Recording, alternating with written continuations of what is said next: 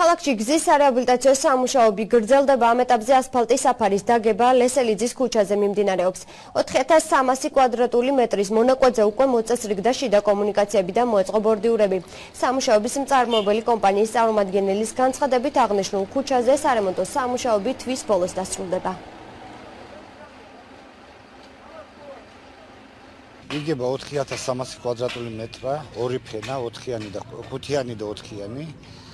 970 ბარდურია დაწყობილი, დავრჩერა პატარა მონაკვეთი, სადაც 40 ბარდურამდე. დავიწყეთ ფაქტურად აქ შემოვიდეთ 25-28 მარტსა. ну საღდგომოდ ჩაბარდე. პიტის კიდე პარალელურად ხაშაკაშვილის ქუჩაზე ბორდურების წყობა. ну თბილისის ქუჩაზე თბილისის 25-ის პიტის ბორდურების წყობა და მოსამზადებლების სამუშაოები.